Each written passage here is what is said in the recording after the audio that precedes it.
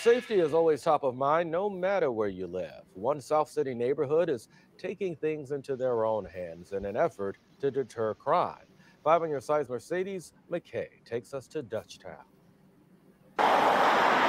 We cannot wait for somebody to come rescue us. Inside the Neighborhood Innovation Center on Saturday morning in Dutchtown, a group of residents and business owners came together for one purpose. We're focused on not only preventing crime or solving crime, but also looking at the root causes. Yeah, fuck that shit, right? The root causes. Ugh. They're not interested in solving crime. We're looking. We're, we're looking at how can we give free stuff to some people. That's when they say root causes. You're talking about giving some people free shit. A group of residents and business owners came together for one purpose. We're focused on not only preventing crime or solving crime, but also looking at the root causes of crime. For the second year in a row, the Dutchtown Community Improvement District hosted a safety summit. Crime is a society. Safety stuff in Dutchtown. Fucking Dutchtown isn't even uh, immune to this shit. God damn. I wonder if uh, this lady has ever had any crimes committed against her. Probably so, man. God damn, Dutchtown though, man. Like, can, can can I get a break from being in Dutchtown? Did I get a fucking break? The, the, the Dutchtowners, can the Dutchtowners get a break?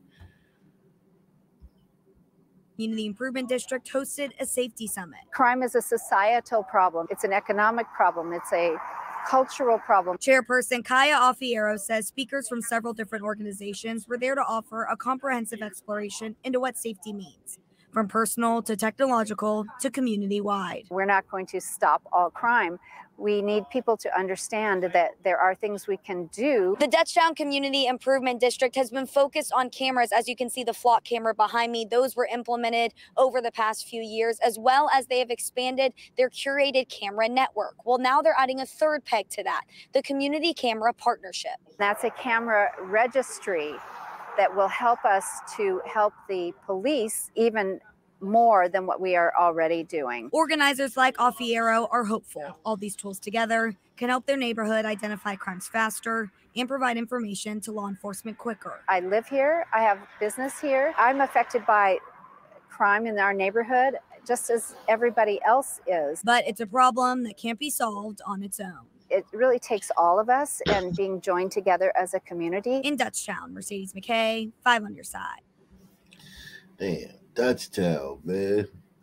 Fuck. Can't even fucking.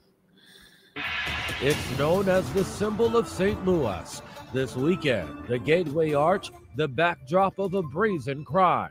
Thieves target a women's college basketball team in town for a tournament. It was a very emotional day for us. Uh, obviously, none of our kids have been through that. I've never been through it. Good evening. I'm Brent Solomon. Right now, police are looking for whoever broke into a basketball team's travel bus. They were visiting from Indiana and stopped to pose for photos by the arch. Within minutes, their personal items were gone. Five on your site, Zanny Crawl has the very latest.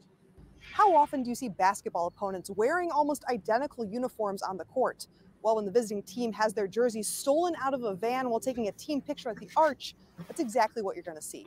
St. Louis is a, is a fun time. Like, it's a great city to be a part of. It just sucks that uh, bad things happen. 17 women's basketball players from Anderson University in Indiana were in town for the two day basketball tournament hosted at Webster University. At around 2 p.m. on Friday, Anderson took these team photos at the arch. They stopped for no more than 30 minutes. Yet, One of them had been broken into, and uh, a lot of our stuff was missing. A lot of game jerseys, backpacks uh, with laptops and iPads and iPods and all that kind of stuff were was taken. the police report saying the driver door on one of the vans had been damaged during the break in between Gateway Arch riverboats and the arch. Multiple electronics, driver's licenses, a social security card, and a number of basketball jerseys were stolen. Even their shoes were gone. So, within a few hours, Webster University jumped into action, finding extra jerseys and kicks from their inventory to try and size the opposing players correctly. They play fast, they press, they shoot the three, they're well coached. Um, they're young, uh, they're scrappy. So uh, I kind of feel like the way they play is kind of how they handle the situation. They were resilient, um, and so it kind of shows how they play on the court, how they dealt with this off the court as well. When it comes to how some collegiate athletes may feel about playing in St. Louis in the future, I would say just kind of balance that out. And, you know, we, we work with that all the time with recruits, particularly out of state, that this this is a very safe campus and St. Louis is a great city. Webster beat Anderson with a final score of 101 to 62. Reporting in Webster Groves, Annie Crawl, five on your side. Story you'll see only on Five on Your Side. A rideshare driver is speaking out just days after he and one of his customers were held at gunpoint in Kirkwood. Five on Your Side, Brent Solomon is live at Kirkwood Police headquarters with what he's learning. Brent?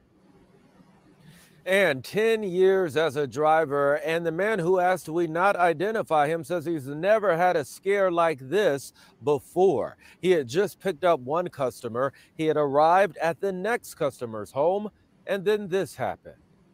It was just before four in the morning, Wednesday, here on Hartman Court in Kirkwood. So all of a sudden, some headlights popped up behind me. A rideshare driver had just arrived at his next customer's home. I just heard bang, bang, bang, somebody banging on my window. Another person pointing a gun at one of the customers in the car, both of them wearing masks. And the guy is telling me to get out the car, get out the car. That's when the other woman he went to pick up came out of her home. Her garage door opens. She doesn't know what's going on. She's just coming out to get in my car. The bad guys took off in the car they pulled up in. They don't want anybody witnessing the act because somebody may actually see the vehicle that he drove up in. And if they're smart enough, they may catch a plate. Personal safety expert Michael Barberi has seen this happen before. Recently, he's seeing it more often with rideshare drivers. Now, instead of robbing them, they're stealing their vehicle. They're not out joyriding. They're out looking for a quick shop or a gasoline station or something else to rob or an individual to rob. His advice unless you're trained to put up a fight, don't. Why lose your life over a car? I mean, you can replace everything except your life. If that young lady wouldn't have opened up her garage door, there's no telling what would have happened. Fortunately, no one was hurt here. That driver a bit shaken up. He returned to work the next day. He told me he has to. He has to make a living. Police here now looking into the bad guy's car in connection with other crimes they've seen in the area. Live in Kirk.